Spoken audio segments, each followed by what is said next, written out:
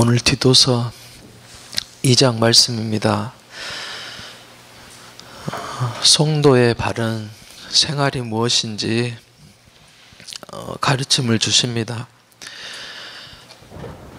1절에 보면은 바른 교훈을 말하고 가르치라라고 말씀합니다. 2절 이하에는 그 내용이 나와 있습니다. 늙은 남자에게 어,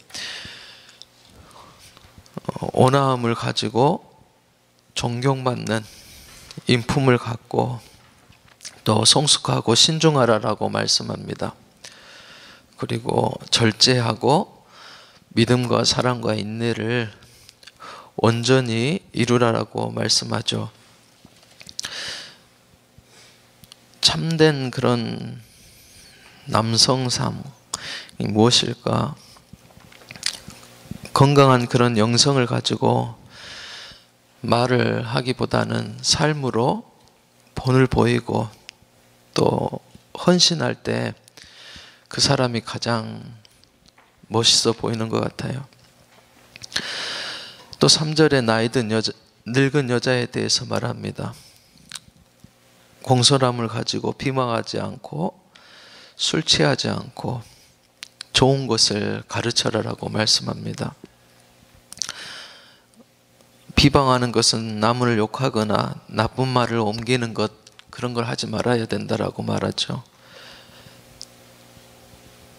또 여자들은 상처 받기 쉬운데 위로의 방법으로 술을 택하지 말고 어, 주님 안에서 위로를 받아야 한다 그렇게 가르치라 말씀합니다.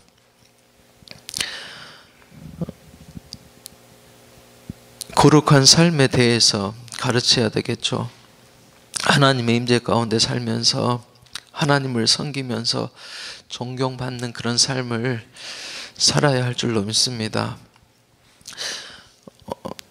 4절 이하에 보면 어른들은 젊은 여자들을 교훈하되 남편과 자녀들을 사랑하고 또 절제하고 순교를 지키고 가정에 충실하고 친절하고 남편, 남편에게 순종할 것을 그렇게 권면합니다. 어머니 주부의 역할 무엇일까요? 남편과 자녀를 섬기면서 사랑하는 것이고 가정에 충실하는 것입니다.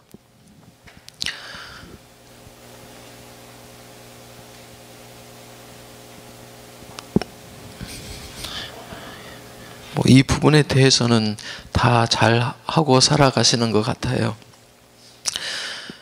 그런데 아내로서 나는 가정생활에 얼마나 충실한지 또 자녀들을 얼마나 사랑하고 섬기는지 말씀을 통해서 돌아보는 그런 시간이 되었으면 좋겠습니다. 젊은이들을 성장하고 또 바른 생활로 인도하는 것은 이해가 필요하고 또 격려가 필요합니다. 말로 하는 것보다 본을 보이는 것이 중요할 것입니다. 7절에서 8절 이하에 보면 젊은 남자들에게 또 말씀을 주십니다. 자신이 먼저 선한 일에 본을 보이라라고 어, 그렇게 말씀합니다. 가까운 사람, 가족들에게 또 교훈에 부패하지 않고 단장하고 죄나 유혹과 교만에 빠지지 않고 자신을 단정히 지켜야 합니다. 또 책망할 것이 없는 바른 말을 하게 하라라고 말씀합니다.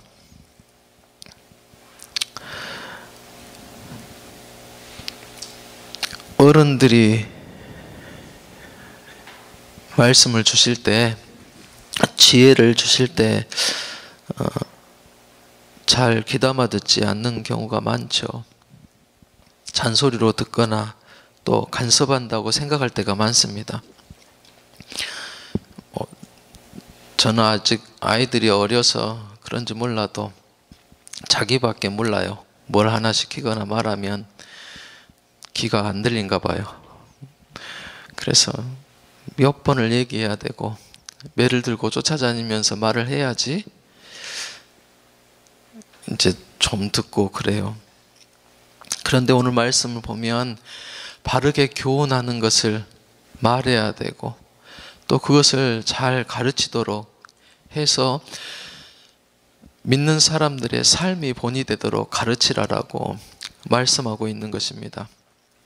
어른들은 먼저 본이 되어서 말하기 전에 삶으로 본을 보여야 될 것이고 또 젊은이들은 그 삶을 잘 본받고 또 그 가르침을 잘 받아서 나의 삶을 더 귀하고 바르게 세워가는 것이 중요하다는 것입니다.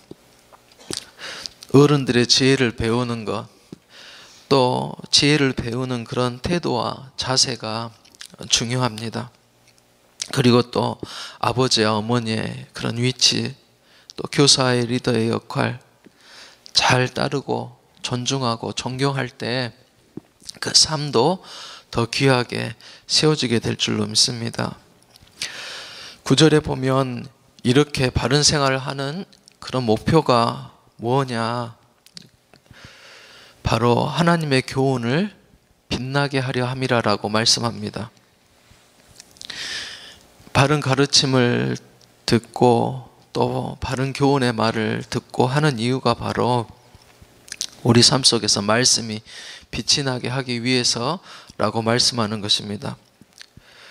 구절에 보면 종들이 성실하게 상전을 섬겨야 될 이유에 대해서 나옵니다. 믿음의 종들이죠, 특별히. 믿는 사람들이 상전을 섬겨야 되는 이유. 그것이 바로 하나님의 말씀이 빛나게 하기 위함이다라고 말씀합니다. 역시 예수 믿는 사람은 뭔가 다르구나. 주님이 높여지고 나타나고 또 알려지도록 나의 직장에서 가정생활에서 우리를 통해서 하나님의 말씀이 빛나야 될 줄로 믿습니다. 오늘 내가 삶 속에서 어떻게 하나님의 말씀을 빛낼 수 있을까? 또 나타내고 높일 수 있을까? 그 일들이 뭘까? 어, 고민해 보고 또 말씀을 붙들고 살아가는 하루가 될 수 있기를 바랍니다. 그리고 삶 속에서 왜 우리 믿는 사람들이 관대하고 참아야 하나?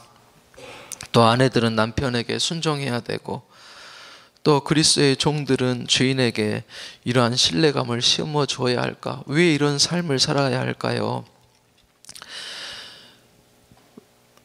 우리 삶 속에서 하나님의 은혜를 나타나야 되기 때문에 그렇습니다.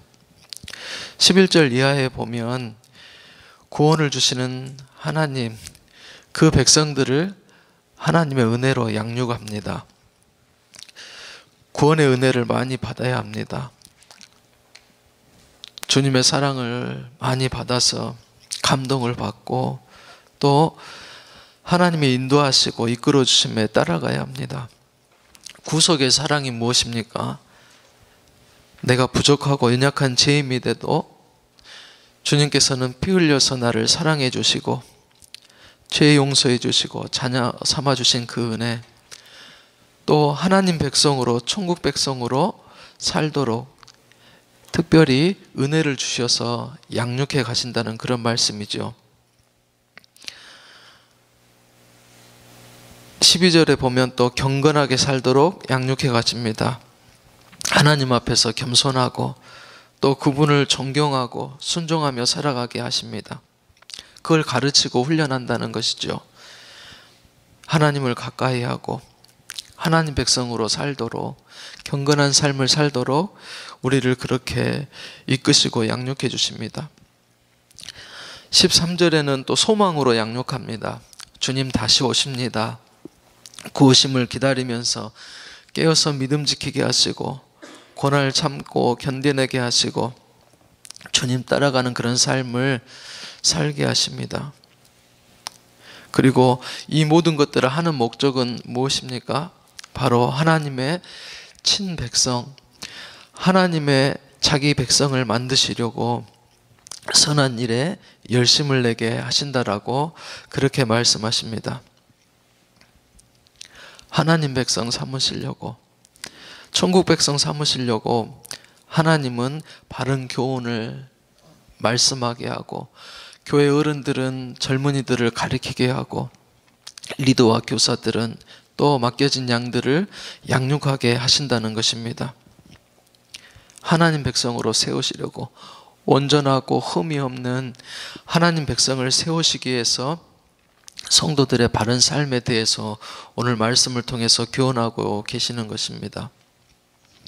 오늘 삶을 돌아보면서 나는 어떤 일에 열심을 내고 있는지 그리고 내가 아직 버리지 못한 욕심이나 또 정욕은 무엇인지 돌아보고 나의 삶을 하나님 앞에 더 귀하게 세워내는 그런 하루가 될 수 있기를 원합니다. 특별히 하나님께서 오늘 하루도 많은 은혜를 주시어서 주님이 주의 백성들을 친히 가르쳐 주시고 양육했던 것처럼 사람을 통해서 환경을 통해서 오늘 하루의 삶을 통해서 은혜 받는 그런 하루가 될 수 있기를 주님의 이름으로 소원합니다. 기도하시겠습니다.